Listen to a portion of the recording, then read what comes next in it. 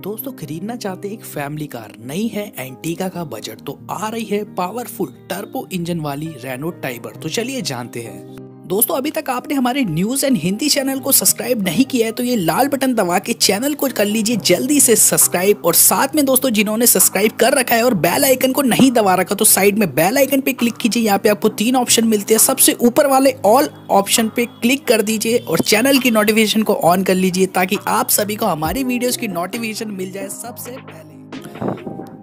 French की car निर्माता company Reno की पिछले साल सब फोर मीटर कैटेगरी की एम पी रेनो टाइबर को लॉन्च किया था। सेवन मीटर वाली इस कार की शुरुआती कीमत दोस्तों मात्र पाँच लाख रुपए रखी गई थी।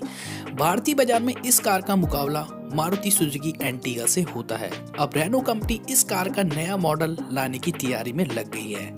नया वेरिएंट दोस्तों केवल पहले से ज़्यादा पावरफुल होगा, बल्कि किफायती भी होगा। और दोस्तों मैं आपको बताना चाहूँगा, जहाँ रेनो अपनी टाइबर को नए इंजन के साथ लॉन्च करने की तैयारी में है, वहीं जल्दी इस कार के टर्बो इंजन को भी लॉन्च करने की तैयारी हो रही है। कंपनी के मुताबिक कंपनी टाइबर का टर्बो एडिशन लॉन्च करने वाली है। माना जा रहा है कि कंपनी टाइबर में आपको 1.0 लीटर का थ्री सिलेंडर वाला टर्बो चार्ज पेट्रोल इंजन दे सकती है। ये इंजन निशान की कार माइक्रा में दिया जाएगा। और दोस्तों, मैं आप सभी को एक और खुशखबरी देना चाहता हूँ कि इसके अलावा रेनो टाइबर का एएमटी मॉडल भी भारतीय बाज़ार में जल्द लॉन्च होने वाला है। कंपनी ऑटोमेटिक ट्रांसमिशन और टर्बो फीचर को इस साल, यानी 2020 में मार्च में इस दोनों कारों को लॉन्च कर देगी।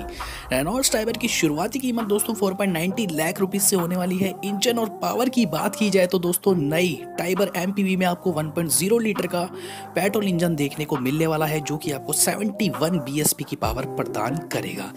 तो दोस्तों, ये तो बड़ी शानदार बात हो गई है कि टाइबर के दो नए वेरिएंट भारतीय बाज़ार में मार्च में लॉन्च होने वाले हैं। पहला है दोस्तों, इसका टर्बो पेट्रोल इंजन और दूसरा है इसका ए एम टी वेरियंट अब दोस्तों, देखना ये कि दोनों कारें नए परफॉर्मेंस के साथ उतरती है भारत में और क्या कौन सी कारों को टक्कर दे पाती है। अपनी राय दोस्तों, हमें कमेंट बॉक्स में ज़रूर बताइएगा कि ये कार आप सभी को कैसी लगी और वीडियो को बिना लाइक करे, बिल्कुल मत जाइएगा। मिलेगा दोस्तों आपसे नेक्स्ट वीडियो में, धन्यवाद।